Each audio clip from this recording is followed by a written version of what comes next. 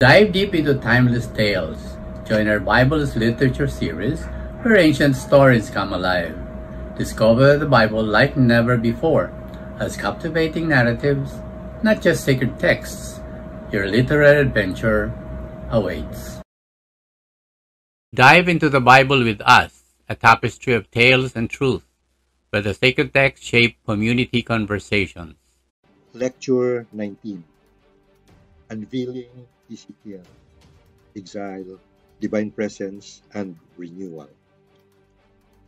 This lecture focuses on the prophet Ezekiel, who was deported from Jerusalem during the Babylonian invasion of Judah in 597 BC. While Jeremiah prophesied in Jerusalem, Ezekiel lived among the exiles in Babylon for 10 years. When Jerusalem was destroyed in 587 BC, Ezekiel remained with the exiles for another 15 years, experiencing a profound sense of dislocation.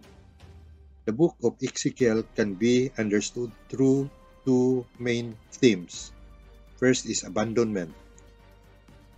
Under Ezekiel chapter 1 to 32 and homecoming under Ezekiel chapter 33 to 33 to 48. The lecture begins with Ezekiel's vision of God on a chariot. This visionary experience, filled with surreal and explosive imagery, depicts four unique creatures with wings, human hands, and multiple faces, pulling a chariot that represents God's throne. The vision emphasizes that God is not confined to the Jerusalem temple, but is present with the exiles in Babylon. Ezekiel revitalizes the tradition of God journeying with the people. Ezekiel's initial vision leads him to the task of prophesying to unwilling listeners. In subsequent chapters, he communicates messages of lament, grief, and woe through visions that provoke opposition. Ezekiel warns about the consequences of idolatry and foretells the abandonment of Jerusalem by God due to the people's abandonment of Him. He witnesses a vision of slaughter where only those who refuse, refuse idolatry are spared and questions the extent of God's destruction. In a significant shift, Ezekiel reframes the tragic events as resulting from the failures of human leadership rather than divine punishment. He employs the metaphor of a shepherd to critique the self-serving practices of Israel's leaders who have neglected the welfare of the people. God portrayed as the true shepherd promises to gather the the scattered and care for the impoverished. The vision suggests that these commitments will manifest politically through a Davidic king who embodies the ideals of good leadership.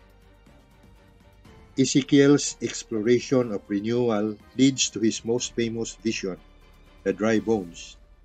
In this vision, Ezekiel sees a valley filled with lifeless bones and God asked if these bones can live again. Through Ezekiel's prophesying, the bones come together, are covered with flesh and skin, and receive the breath of life.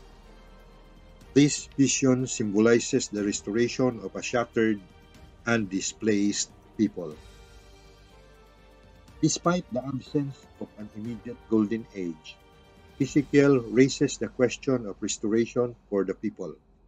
His visions provide hope for the future, highlighting God's presence, critique of failed leadership, and the potential for renewal and return. Stay enthralled with epic sagas and ageless wisdom. Continue with us in our Bible as Literatures series. Unearth stories and symbols in a fresh literary light. The next chapter of your riveting journey is just around the corner. Thank you for watching Unveiling Ezekiel Exile, Divine Presence, and Renewal. we journeyed with the prophet through visions of despair and messages of hope. Ezekiel's dramatic prophecies, from the glory of God's mobile throne to the valley of the dry bones, remind us that renewal is always within reach. In the face of destruction and loss, Ezekiel taught us that resilience and transformation are born from steadfast faith and divine promise. Join us next time as we continue to explore the depth of Jewish heritage and exploring Jewish heritage, identity formation, and rebuilding Jerusalem.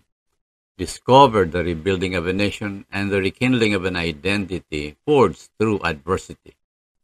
Don't forget to like, subscribe, and click the bell icon to stay updated on our latest lectures. Share your thoughts in the comments below and engage with the community. May you find insight for today's world in the wisdom of the past. Until next time, keep seeking, keep learning, and keep growing.